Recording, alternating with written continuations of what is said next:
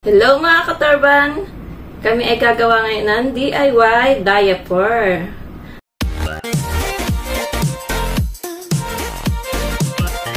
Tatlong klaseng DIY diaper ang ating gagawin. Yan, para sa ating tatlong bulilit. Kaya gawin na natin mga katorban kasama ang ating tatlong masusungit. Inahin na natin ito mga katorban, sinira at ito ay maligalig masungit. Yan, mix na nga.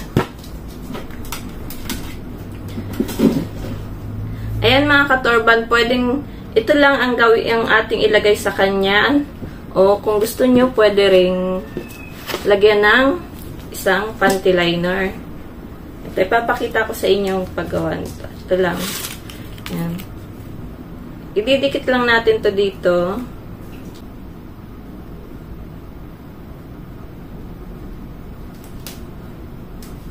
Nira, parito ka. Ayan. Hindi na natin ito bubutasan. Ayan mga katorban. Ganito lang yan. Nira. Huwag malikot. Malikot naman ng batang ari. Ito, isusuot lang natin ito dito sa buntot. Ayan, ilalagay lang natin dito sa ilalim. Kaya okay lang kahit hindi siya butasan. Tapos, itatali lang din natin siya dito.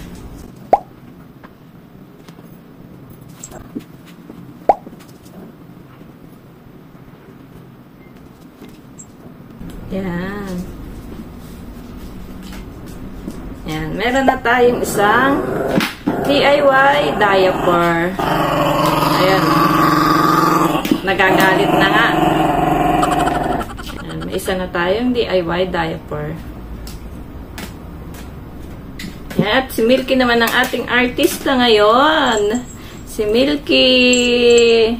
Ang gagawin naman natin, face mask pa rin. Tapos, panty liner. Pero, lalagyan natin to ng butas.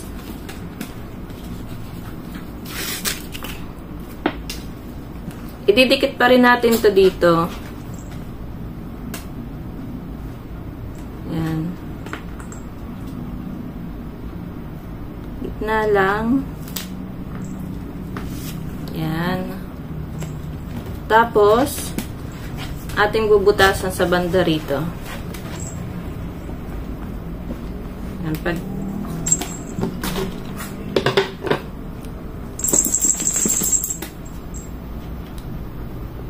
butasan lang dito. Yung sakto, sasakto yung kanyang buntot at puwet. Ayan. Ayan, may butas na siya. So, isusuot naman natin.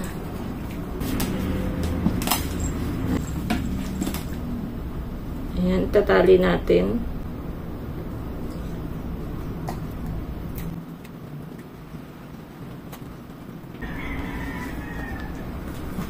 Hmm. Kung medyo malaki naman po ang inyong dog, pwede nyong hatiin sa gitna yung tali. Ito na tayo, pangalawang DIY diaper. Yan. Hmm. Eh, may dalawa na tayong DIY diaper. So, pangatlo na tayo. At ang ating artista ay si Pixie! Yay! Ayan, gagamit naman tayo ngayon ng diaper.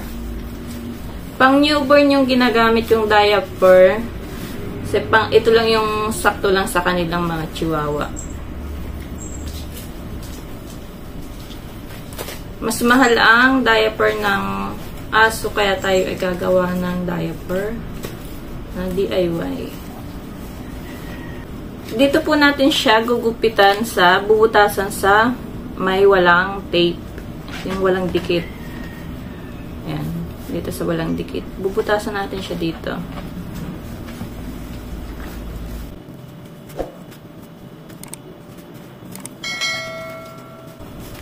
Ayan. Kakasya yung kanyang buntot at yung sa kanyang puwet. Ang bait naman ng bebe niyan. Very good.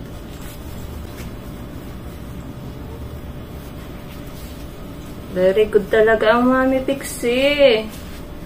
Pang newborn lang po talaga yung sakto, saktong sakto sa mga chihuahua na diaper na pang bata.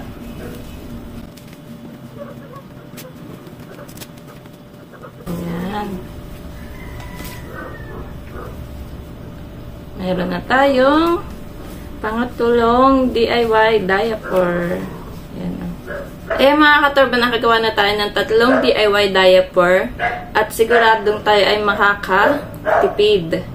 Hindi na sumama yung isa at bad trip. Magkakagulo ang mundo ng mga katorbang aso. Ayan. Yun lang mga katorban at don't forget to subscribe, like, and share. Thank you mga katorban! Bye-bye!